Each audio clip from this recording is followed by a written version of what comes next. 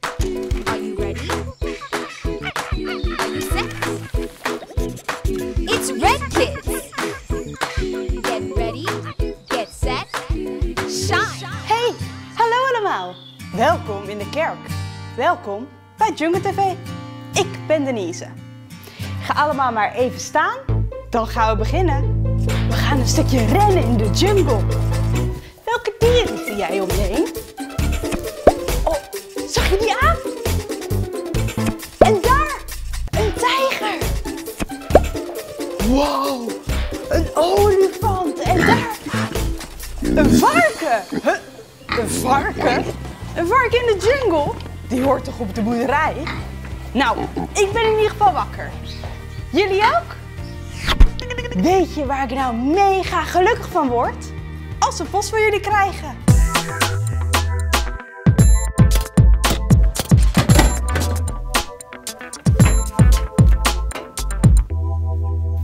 Vorige week was het feest bij Jungle TV. Maar ook bij Joas en Imma Hoeksem uit Osseland. Kijk eens lekker meedoen. Leuk! Bedankt Imma en Joas. Ben benieuwd of we volgende week ook weer mooie knutsels, tekeningen of kleurplaten krijgen. Want deze week is er weer iets leuks om te maken op onze website. Op www.redemptionchurch.nl slash kidsonline. Vraag maar of papa of mama je ermee wil helpen. En als je wat moois gemaakt hebt, willen we dat heel erg graag zien. Stuur er een foto van naar ons toe. Dan kan je mailen naar kids@redemptionchurch.nl. We zijn benieuwd. Weet je, Vader God houdt van jou. En hoeveel hij van je houdt? Daar komt Jordi vandaag achter. Laten we maar gauw gaan kijken. Zo mooi. Oh. Maar weet je, ik ben een beetje stout geweest. En nu is Arjan, denk ik, heel boos op mij. Ik ga even achter de bank zitten, denk ik, voor als Arjan komt. Hoi! Jordi! Jordi, waar ben je nou? Oh. Arjan mag me niet zien, want anders gaat hij boos worden. Ik ga gauw weer weg. Waar is Jordi nou toch? Als, als Jordi er niet meer is, dan zou ik hem wel heel erg missen. Echt waar, Arjan? Oh, daar ben je, Jordi. Ja, natuurlijk ga ik je dan missen. Zou, zou je me echt missen als ik weg was? Ja, zeker. Want ja, Jordi, ik, ik hou toch van jou? Ja, Maar Arjan, ja, ook als ik iets heel stouts heb gedaan? ja, tuurlijk. Ook als je heel iets stouts hebt gedaan, ja. Eh, Ehm, maar heb je soms iets stouts gedaan, Jordi? nou. Op het feestje van Nina heb ik stiekem haar nieuwe mooie speelgoedauto meegenomen. Jordi, Ja, dat mag toch niet? Je mag toch niet de auto van iemand anders mee naar huis nemen? Dat kan toch niet? Dat weet ja. je toch, Jordi? Ja, maar dat weet ik ook wel. Maar kijk nou. Hij is zo mooi. En toen dacht ik, nou, dat je dan misschien mij alleen maar heel stout vond en niet meer van me zou houden. Dus ik dacht, ik verstop me maar. Oh, Jordi. Als je, als je weggaat, dan, dan zou ik toch heel verdrietig van je wo- worden. Want ja, ik, ik hou toch zoveel van je. Dan Echt? ga ik je toch missen. Maar ja, eh, de auto, die moet je natuurlijk wel teruggeven. Ja, dat dacht ik al. Hé hey Arjan, Hm? houdt eh, vader God ook van me als ik iets stouts heb gedaan? Natuurlijk. Ik denk zelfs, misschien wist hij het wel al. Ja, want in het boek van Vader God staat een mooi verhaal over iemand die het stouts gedaan heeft. Echt? Ja, zal ik dat anders eens lezen? Nou, dat is wel heel erg leuk. Wacht even. Ga ik even goed voor zitten. Even kijken hoor. Ja, nou dank je. Ja. Ja, dat zit ik lekker. Ik zal het eens even bijpakken hoor. Jezus die vertelt het verhaal zelf dus, hè? Ja, Ja, zit je goed? ja. Oké, nou. Er was dus een vader en die had twee zoons. En ze leefden in een heel groot huis. En ze hadden eten en kleren en alles wat ze nodig hadden. Ze hadden meer dan genoeg, ja. Maar op een dag zei de jongste zoon tegen de vader: Papa, ik vind het hier niet meer zo leuk. Nee, Nee. Nee, geef mij al mijn geld maar. Ik wil gewoon weg. En de vader, die was erg verdrietig. Maar hij gaf de zoon het geld. Ja, en het was heel veel geld. En toen, toen ging de zoon gewoon weg. Ja, Maar, maar dat is toch wel zielig voor zijn vader, hè, Arjan? ja. En de zoon, die was niet zo verstandig. Nee, hij gebruikte zijn geld alleen maar voor feestjes en om mooie dingen te kopen. En na een tijdje, toen was zijn geld op. Al zijn geld op? Ja. Oh, nee! En toen was die zoon opeens niet meer zo gelukkig. Er was niemand die hem wilde helpen. Zijn geld was op, hij had geen huis meer, helemaal niks. Hij was mega verdrietig. Wat zielig. En het werd nog erger. Want in het land waar hij nu leefde kwam een grote hongersnood. Een wat is? Een hongersnood? Wat is dat? Nou, dat is gewoon dat je niet genoeg te eten hebt. Dat er gewoon nergens eten is. Nergens ook brood? Niks, gewoon nergens eten. Popperpop. En toen liep de zoon, die liep dus buiten, kwam die bij een boerderij. En daar waren varkens. Hé, hey, kijk. En die waren lekker aan het spelen in de modder. Die varkens, die hadden wel genoeg te eten, ja. Ja. En die zoon die ging naar de boer en die zegt... "Eh, mag ik niet misschien bij jou komen werken? Ja, want dan eh, kan ik wat geld verdienen en dan kan ik misschien wat eten. Nou, oké, zegt de boer, doe maar. Ja, en zorg dan maar voor mijn varkens. Elke dag zorgde die zoon dus voor de varkens van de boer. En op een dag, toen had die zoon honger. Zo verschrikkelijk honger. Hij dacht, zal ik dan misschien maar van het eten van de varkens gaan eten? Echt waar? Jak is vies hoor. Ja, ja, ja. Nou, de zoon was ook heel verdrietig. Ja. Ja. En opeens, toen kreeg hij een idee. Ik ga gewoon terug naar mijn vader. Oh, maar ik denk dat de vader misschien wel boos op me is. Ik heb al het geld opgemaakt. En ik stink. Stinken? Bé. Maar bij de vader thuis, daar is natuurlijk wel genoeg te eten. En er is altijd wel plek voor een nieuwe werker. Maar goed, en dan ga ik tegen de vader zeggen... Ik ben dom geweest. En ik kan uw zoon niet meer zijn. Maar mag ik hier alsjeblieft wonen en werken? Thuis was de vader al een tijdje aan het wachten of zijn zoon eindelijk thuis zou komen. Elke dag stond hij op de uitkijk. Hij keek naar de weg en hij hoopte dat die zoon al eraan kwam. Zo, wat een goede papa, hè? Nou, en toen opeens, toen gebeurde het. Hé, hey, wat zie ik daar? Daar. Ja, ja, ja, dat is mijn zoon. Dat is hem, dat is hem. En de vader die rent naar de zoon toe, zo hard als hij kan. En de zoon, die zag iemand naar hem toe rennen. En hij schrok. "Oh, wie is dat? Wie is dat? Oh, hé, hey, is dat mijn vader? De zoon die rook heel vies. Hij stonk ook nog naar varkens. En dat maakte de vader helemaal niks uit. Nee, hij knuffelde de zoon en hij kuste hem. Oh, wat was hij blij. De zoon hoefde helemaal niet te werken voor de vader. Nee, hij mocht gewoon thuiskomen en hij mocht gewoon de zoon zijn. Zijn vader hield zoveel van hem. Het maakte niets uit wat de zoon gedaan had. Helemaal niets. Zijn vader bleef altijd van hem houden. Ja. En zo, zo houdt vader God ook van jou. Wauw. En van ons allemaal. Dus vader God, hè? Mijn God houdt van mij. Zelfs als je iets fout hebt gedaan. Als ik iets fout heb gedaan, dus ook, hè? Ha! Altijd. Ja. Ja. Weet je waar ik ook van hou, Arjan? Nou, waar hou je van? Van auto's. Eh, Jody, ja, dat snap ik dat je van autootjes houdt, ja. Ja. Maar, eh, Ja, maar Arjan, ja, ik ga hem wel teruggeven hoor. Want, weet je waar ik nog meer van hou? ehm, Nog meer dan van autootjes? waarvan dan, Jody? Van Nina.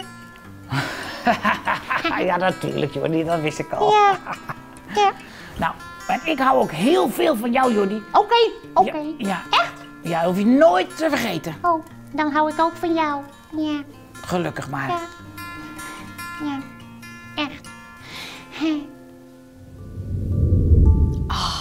Wat lief zijn Arjan en Jordi, hè? Net als in dat mooie verhaal. Wat een lieve vader. De Heer Jezus vertelde dit verhaal om iets belangrijks te vertellen. Over de liefde van Vader God. Want Vader God is net als de vader uit het verhaal. De zoon had best wel domme dingen gedaan. En toen hij thuis kwam, na een lange tijd, was de vader toen boos? Gaf de vader hem straf? Nee, hij was mega blij dat zijn zoon weer thuis was. Hij knuffelde en kuste hem. Hij hield zoveel van hem. Vader God is onze hemelse vader. Hij houdt net zo van ons als de vader in het verhaal van zijn zoon hield. Houdt papa God van mij ook als ik domme dingen doe? Houdt papa God van jou wanneer je boos bent? Mogen we echt altijd naar papa God gaan? Ja! Goed zo. Weet je de tekst uit de Bijbel nog? Van de vorige keer? Zullen we die nog eens doen, zodat we het weten en nooit meer vergeten? Doe maar mee. Dan doen we hem samen. Er staat, jij bent, mijn lieve kind. Jij maakt mijn hart zo blij. Wauw, dat ging mega goed. Gaaf hè? Dit gaan we de komende week elke dag weer zeggen. Met de gebaren.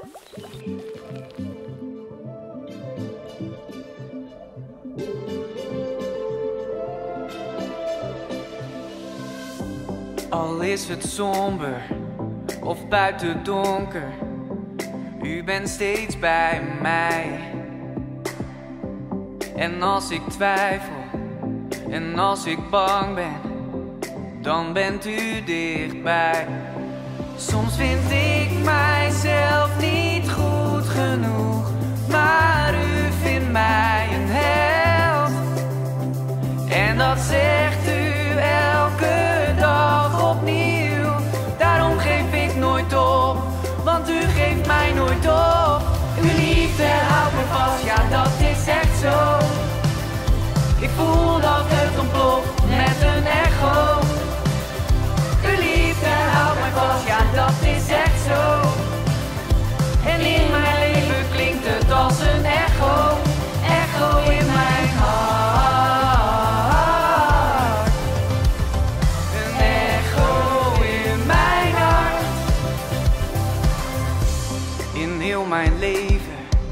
blijft u maar geven wat u heeft beloofd.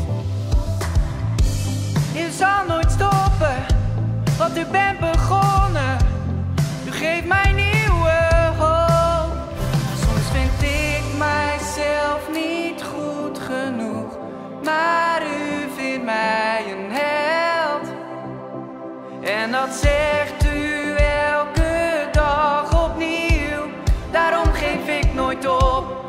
want u geeft mij nooit op.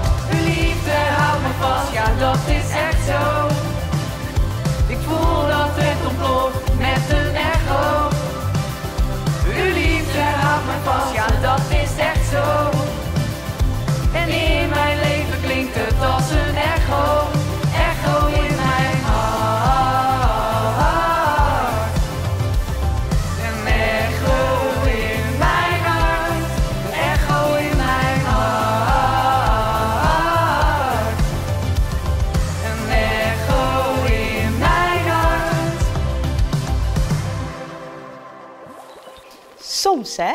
Soms weet een kind niet zeker of hij bij vader God hoort. Dat kan hoor. En misschien ben jij dat wel. Wil je ook bij vader God horen? Bij vader God die altijd van je houdt? Zeg mij dan maar na.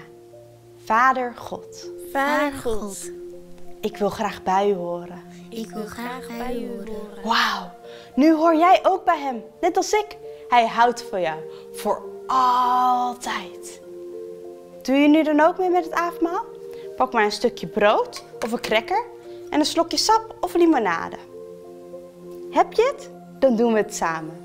Dit is het brood en dit is de wijn, die samen het speciale avondmaal zijn. Het brood is zijn lijf, de wijn is zijn bloed. Zo blijf ik gezond en zo voel ik me goed. Dank u, Heer Jezus. Neem het maar.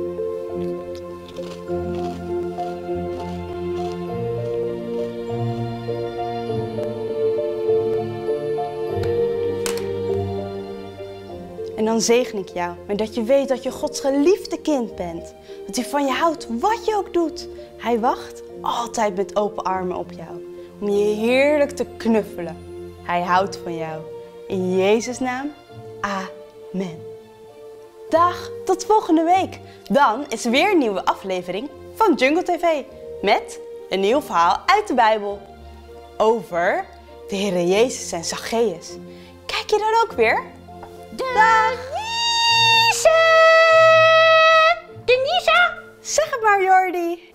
Jordi, schiet nou op. We moeten die auto zo naar Nina gaan brengen. Ja, Arjan, dat wilde ik dus net tegen, tegen Denise zeggen dat we naar Nina gaan. We gaan naar Nina, Denise! Kom op dan, Jordi. We moeten weg. Maar de- het is toch niet dat je nu boos ging worden? Ja, maar ik ben toch niet boos, Jordi? Maar, maar je houdt dus nu ook nog wel echt van mij? Ja, ik hou zeker van je, ja. Maar Arjan, hou je dan ook van me als ik eh, met mijn vinger in mijn neus ga?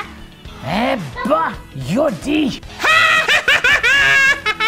Hé, hey, maar je houdt toch nog wel echt van me, hè? Toch? Ja, ik hou zeker van je. Ja. Ik, ik hou echt heel erg van je. Ja, kom op, we moeten doei zeggen tegen de kinderen. Ja, doei poepeloei. Pep, pep, pep, pep, doei doei. Knorreloei.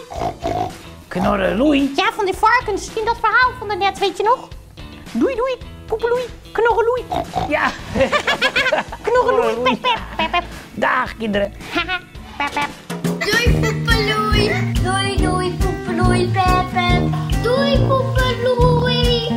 Doei poepeloei pep. Poepeloei koei. Doei poepeloei. Doei poepeloei. Jornie vindt grappig als hij je neus spullen.